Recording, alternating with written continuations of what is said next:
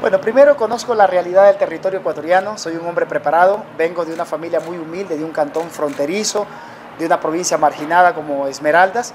Soy abogado, soy experto en desarrollo local, me he preparado a nivel académico nacional internacional. He estado 20 años en la función pública ejecutando miles de obras a nivel nacional en el Ecuador profundo, con las parroquias y rurales, con mis compañeros presidentes del sector rural, del sector campesino.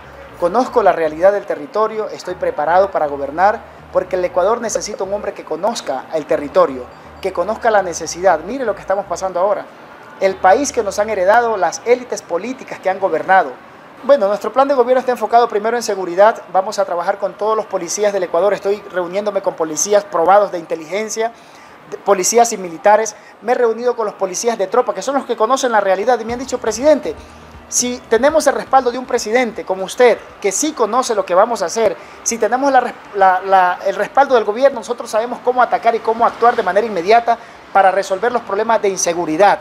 Y no solamente atacando, sino rescatando a todos esos chicos de 12, 13, 14 años que están en las pandillas, que han sido presa fácil y que tienen miedo de estar en las pandillas, que no se pueden salir porque van a ser asesinados ellos y su familia. Esos chicos tenían que ir al colegio, esos chicos tenían que ir a la escuela o a la universidad pero como los gobernantes no le han dado la oportunidad, ahora son pandilleros, son presa fácil de las drogas y de toda la incertidumbre que vinimos.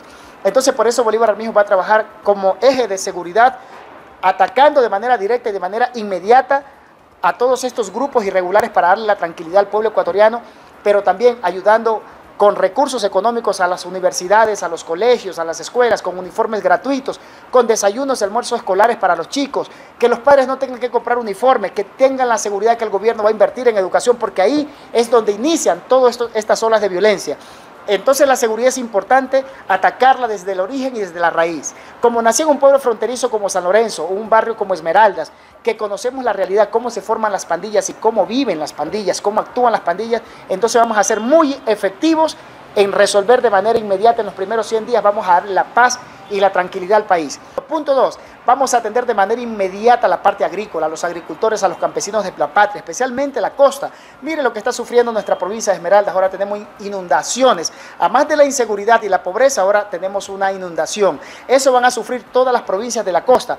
Bolívar ahora mismo ya conoce eso, porque vivía en un pueblo que era, estaba a la orilla de un río y se inundaba. Cómo bajaba el ganado y cómo nos uníamos como comunidad para ayudar a rescatar el ganado, los cultivos de nuestros campesinos. Entonces el Ecuador necesita un presidente que se ponga las botas, que no tenga miedo a mojarse en las aguas sucias, donde sea, y llegar a abrazarse con su gabinete, que va a ser un gabinete de primer nivel, con los mejores profesionales, atender estos problemas inmediatos a territorio, a cada cantón, a cada provincia, todos los fines de semana, viernes y sábado y domingo, mi gabinete estará atendiendo en cada comunidad resolviendo los problemas.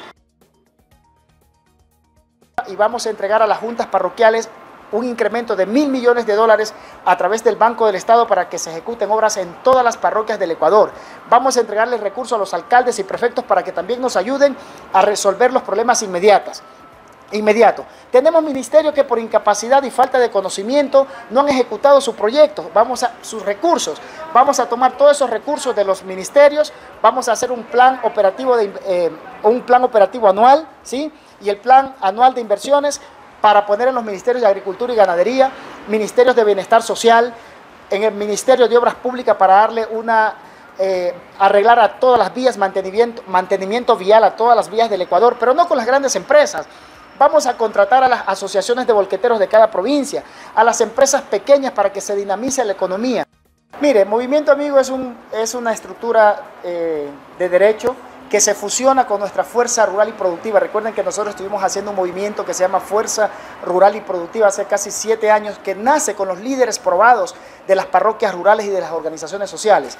No nos permitieron legalizar a pesar de que presentamos más de 1.340.000 firmas al Consejo Electoral, que nadie cree en el Consejo Electoral.